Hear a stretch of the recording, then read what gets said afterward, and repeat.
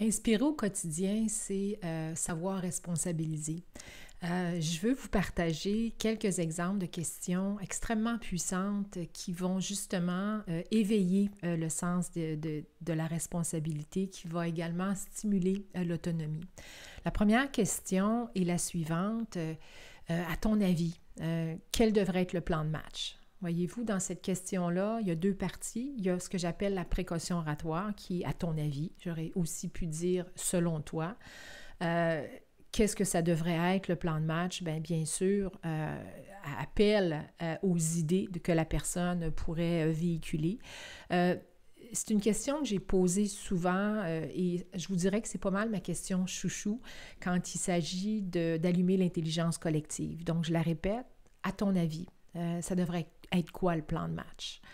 Euh, un autre exemple d'une question qui va euh, stimuler la responsabilisation, spécialement si vous avez en face de vous quelqu'un qui a peut-être moins le sens des responsabilités ou qui a plutôt tendance toujours à vous dire Ah, ben toi, boss, là, qu'est-ce que tu veux que je fasse? Qu'est-ce que je devrais faire? pour éviter que cette situation-là revienne trop fréquemment, euh, tentez la question suivante qui est si on a un geste à poser dans cette direction-là, ça devrait être lequel, à ton avis?